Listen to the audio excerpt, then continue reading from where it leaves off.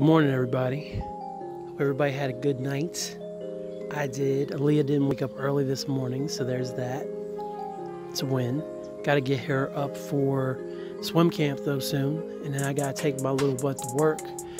But I took two showers in the last 12 hours because you know how sometimes you just wake up and you're just a little too sticky.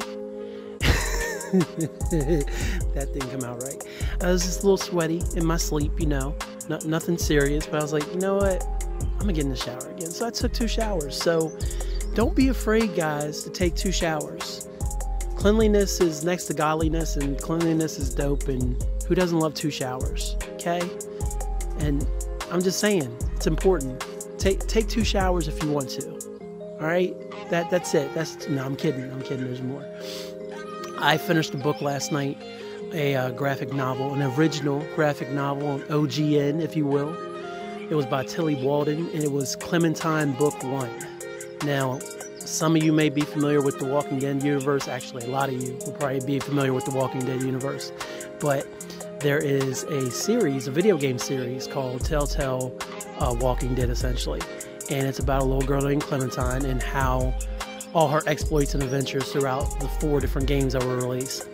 So this picks up after the fourth game. It's a brand new story featuring our girl Clem, and I absolutely loved it. Artwork got a little muddled at times for me. I enjoy most artwork, but it's a very dark, it's black and white comic. And so I don't know how well Tillie's uh, drawing style went with the black and white theme. There's there's another net or something trying to eat me. I don't know what it is. I don't know how well her artwork went along with the Walking Dead theme because the Walking Dead comic books were in black and white, but I really enjoyed the story. So um, I suggest that if you're into Walking Dead or into Clementine, uh, Telltale's Walking Dead and Clementine, go check that out.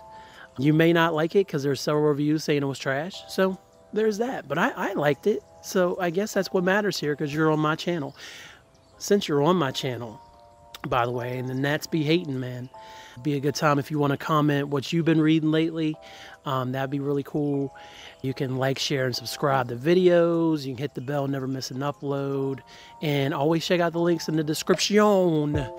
And by the way, the Comic bench, which was in yesterday's description, they had a live show last night. So you can go check that out if you watched yesterday's video.